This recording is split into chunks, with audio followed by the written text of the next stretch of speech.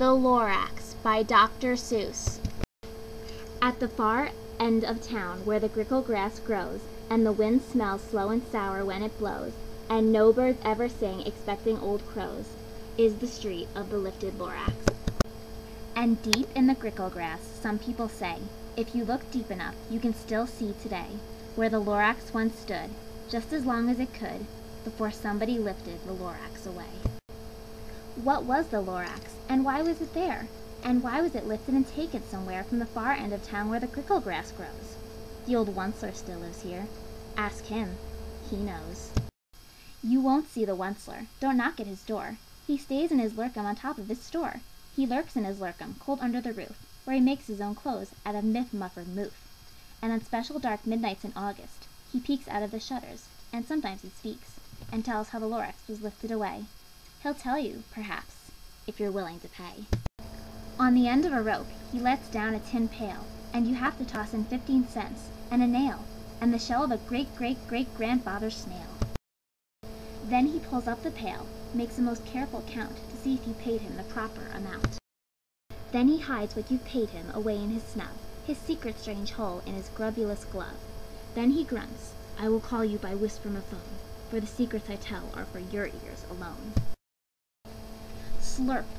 Down slurps the whisper-ma-phone to your ear, and the old Onceler's whispers are not very clear, since they have come down through a snergelly hose, and he sounds as if he has had smallish bees up his nose. Now I'll tell you, he says, with his teeth sounding gray, how the Lorax got lifted and taken away. It all started way back, such a long, long time back.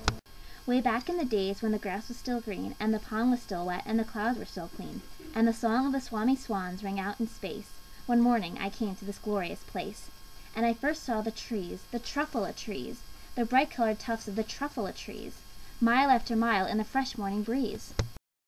And under the trees I saw brown barbaloots, frisking about in their barbaloot suits, as they played in the shade in a truffula fruits. From the rippulous pond came the comfortable sound of the humming fish humming while splashing around. But those trees, those trees, those truffula trees! All my life had been searching for trees such as these. The touch of their tufts was much softer than silk, and they had the sweet smell of fresh butterfly milk. I felt a great leaping of joy in my heart. I knew just what I'd do. I unloaded my cart. In no time at all I had built a small shop. Then I chopped down a truffula tree with one chop, and with great skillful skill, and with great speedy speed, I took the soft tuft, and I knitted a thneed. The instant I'd finished I heard a gazump. I looked. I saw something pop out of the stump of the tree I'd chopped down. It was sort of a man. Describe him? That's hard. I don't know if I can. He was shortish, and oldish, and brownish and mossy, and he spoke with a voice that was sharpish and bossy. Mister, he said, with a sawdusty sneeze, I am the Lorax. I speak for the trees. I speak for the trees, for the trees have no tongues, and I'm asking you, sir, at the top of my lungs. He was very upset, as he shouted and puffed. What's that thing you've made out of my truffula tuft? Look, Lorax, I said, there's no cause for alarm. I chopped just one tree. I'm doing no harm. I'm being quite useful. This thing is a thneed. A thneed's a fine something that all people need. It's a shirt, it's a sock, it's a glove, it's a hat. But it has other uses. Yes, far beyond that. You can use it for carpets, for pillows, for sheets, or curtains or covers for bicycle seats. The Lorax said, Sir, you are crazy with greed. There is no one on earth who would buy that fool thneed. But the very next minute I proved he was wrong, for just at that minute a chap came along, and he thought that the thneed I had knitted was great. He happily bought it for three ninety eight. I laughed at the Lorax. You poor stupid guy! You can never tell what some people will buy. I repeat, cried the Lorax, I speak for the trees. I'm busy, I told him. Shut up, if you please. I rushed across the room, and in no time at all built a radiophone. I put in a quick call. I called all my brothers and uncles and aunts, and I said, Listen here, here's a wonderful chance for the whole Onceler family to get mighty rich. Get over here fast. Take the road to North Nitch. Turn left at Weehawken, sharp right at South Stitch. And in no time at all, in the factory I built, the whole Onceler family was working full tilt. We were all knitting thneeds just as busy as bees, to the sound of the chopping of the truffula trees. Then, oh baby, oh, how my business did grow! Now chopping one tree at a time was too slow. So I quickly invented my super axe hacker, which whacked all four truffula trees at one smacker. We were making thneeds four times as fast as before. And the Lorax? he didn't show up anymore. But the next week he knocked on my new office door. He snapped, I am the Lorax who speaks for the trees, which you seem to be chopping as fast as you please. But I'm also in charge of the brown barbaloots, who played in the shade in their barbaloot suits, and happily lived eating truffula fruits. Now, thanks to your hacking my trees to the ground, there's not enough truffula fruit to go round, and my poor barbaloots are all getting the crummies because they have gas and no food in their tummies. They love living here, but I can't let them stay. They'll have to find food, and I hope that they may. Good luck, boys! he cried, and he sent them away. I, the Onceler, felt sad as I watched them all go.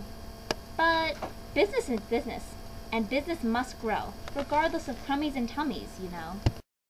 I meant no harm, I most truly did not, but I had to grow bigger, so bigger I got. I biggered my factory, I biggered my roads, I biggered my wagons, I biggered the loads of the thneeds I shipped out. I was shipping them forth to the south, to the east, to the west, to the north. I went right on biggering, selling more thneeds, and I biggered my money, which everyone needs. Then again he came back. I was fixing some pipes when that old nuisance Lorax came back with more gripes. I am the Lorax! He coughed and he whiffed. He sneezed and he snuffled. He snarled, he sniffed. Onceler! he cried with a querulous croak. Onceler, you're making such smogulous smoke! My poor swummy swams! Why, they can't sing a note! No one can sing who has smog in his throat! And so, said the Lorax, please pardon my cough. They cannot live here, so I'm sending them off. Where will they go? I don't hopefully know. They may have to fight for a month or a year to escape from the smog you've smuggled up around here. What's more, snapped the Lorax, his dander was up, let me say a few words about Gluppity Glup.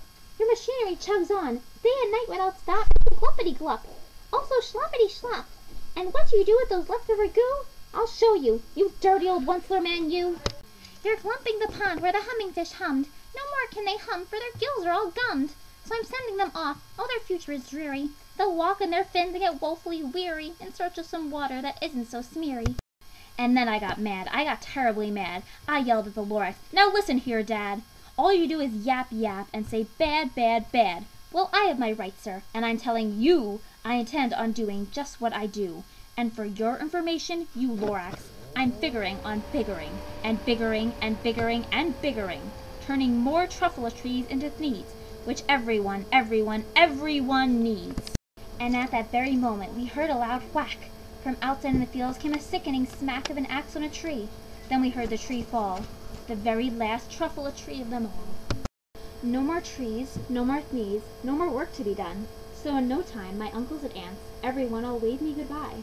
They jumped into my cars and drove away under the smoke-smuggled stars. Now all that was left neath the bad-smelling sky was my big empty factory, the Lorax, and I.